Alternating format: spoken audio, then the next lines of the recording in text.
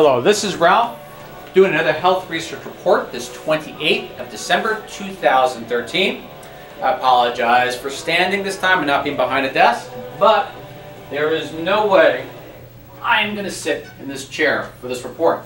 So, to get back to what we are doing today, is do three quick reports on a few of the news articles that came out in regards to health. And the first one may not seem particularly uh, pertinent to what we're discussing, but it is still pertinent. And this one is actually titled Cinnamon Gate.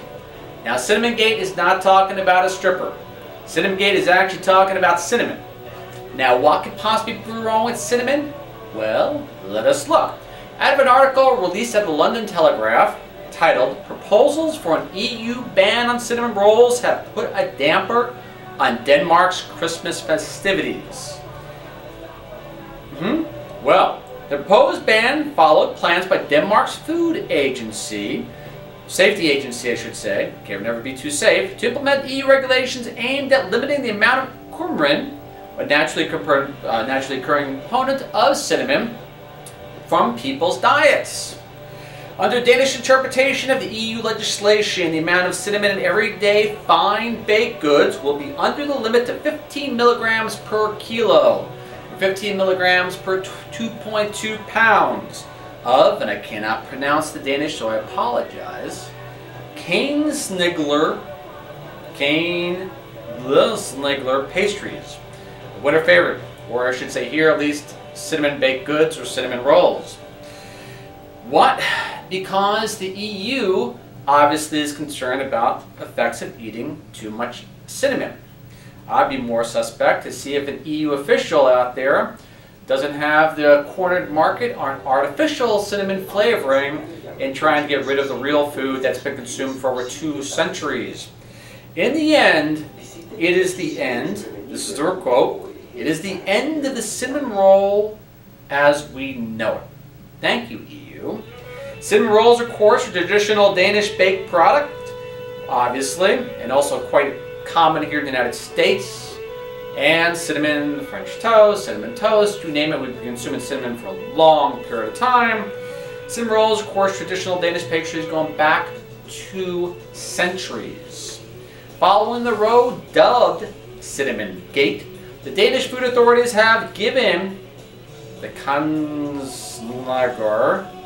oh gosh, a temporary reprieve until February, while insisting consumers should not run a risk while they eat cinnamon rolls. Insisting consumers should not run a risk when they eat cinnamon rolls. Yeah, that's not exactly, I guess, your number one call to poison control. Remember, this is the EU Commission, not the people in the EU, the EU commissioners which obviously until February means they have to worry much more about pertinent things like banking and financing and loans and debt and austerity measures. Unless cinnamon is part of those austerity measures we're unaware of. The same EU that less than a year, or I should say over a year ago, decided to say that bottled water has not been proven to prevent dehydration and therefore no medical claim can be made for water preventing dehydration. Yes, the one and the same EU the one that's helping Europe fall completely apart. And in their words, at least say Danish Bakery Association words, an average person would have to eat so many Danish pastries in order to be affected, they would certainly die of obesity before being hurt by a low level of cinnamon.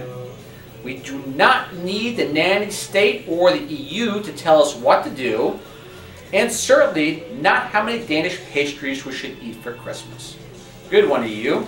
As the EU burns around you, you worry about cinnamon rolls. Now we go to migraine headaches, possibly caused by the EU or possibly caused by chewing gum. In an article titled, Chewing Gum is Often the Culprit of Migraine Headaches in Teens. This one came out of Tel Aviv University, and they said, or should digress and say this is what the study showed. The TAU researchers, Tel Aviv University, 87% of teens who quit chewing experienced significant relief.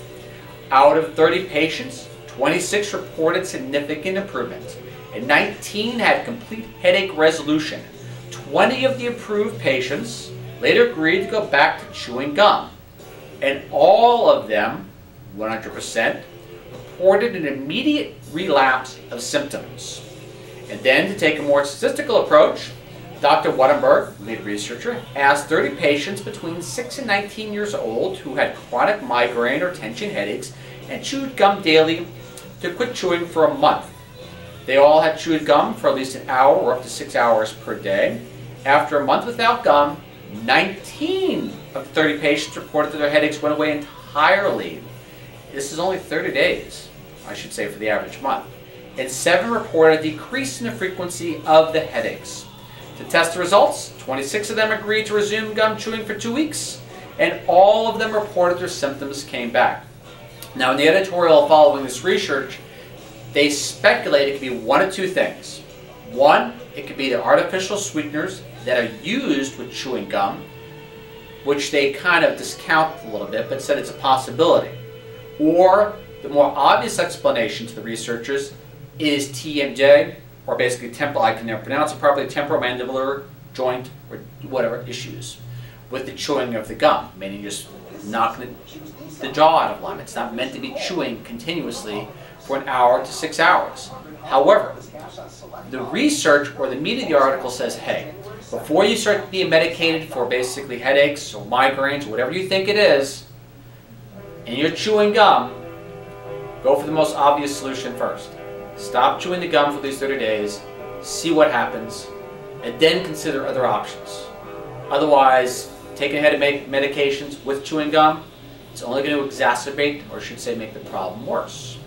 And now, we go to probiotics. I shouldn't say probiotics, I should say good bacteria. And this article was published in the Journal of Cell.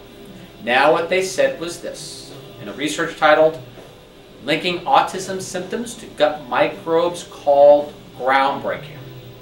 They said, this is the first to show that a specific probiotic may be capable of reversing autism-like behaviors in mice. And keep in mind, in animal studies, a lot of variables. Genetic modification of the animals being studied, uh, controlled environment, you name it. So it doesn't mean it's going to relate to humans. But however, though, it's the first step. They said also, led by Elaine, I can probably mispronounce her name, so, of the California Institute of Technology, the researchers used a technique called maternal immune activation in pregnant mice to induce autism-like behavior in neurology in their offspring. The researchers found that the gut microbial community of the offspring differed markedly compared to the control group of mice. Meaning, the group that had autism, the whole internal bacteria in their gut was different than the group that did not have autism. So they noticed an observation, and they wanted to work off that observation.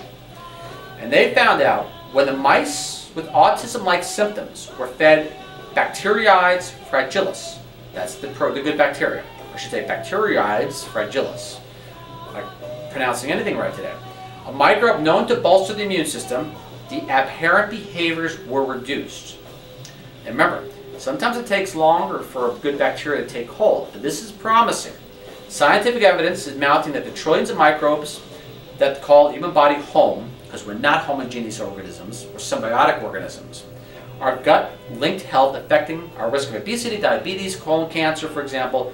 More recently, researchers are discovering that gut microbes may be affecting our neurology. So it makes it an interesting uh, prospect. Possibly impacting a person's cognition, emotions, and mental health. So next time you take an antibiotic, it's actually maybe a, an emotion killer or a brain killer. Not necessarily the brain up here, but the second brain down here. And also too, people with autism spectrum disorder would like to have, this is an interesting thing, as far as those with autism spectrum disorder.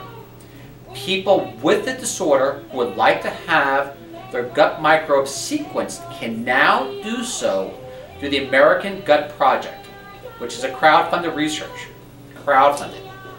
Not National Institute of Health funded, not Procter & Gamble funded, UI, crowdfunding which is interesting. Again, I'm going to repeat it one more time in case anybody missed it. People with autism or people that know people with autism spectrum disorder who would like to have their gut microbe sequence can now do through, do through the American Gut Project, crowd-funded research, which is worth doing. Instead of having to go through life of agony, pain, and medication, just get it sequenced. What's going to hurt? And most probiotics are totally harmless. Beats a lot of medications that try to force your brain to do one thing other or another thing. You know, go fast, go slow, don't think this, don't think that. You know, you get the picture. Well, again, this was an impromptu 28th December 2013 Health Research Report with no seat. Thank you very much for listening. Once again, I'll try to do these every seven to eight days now that I'm getting things back set up over here. All right, and I'll try not to mumble at the same time. Thank you.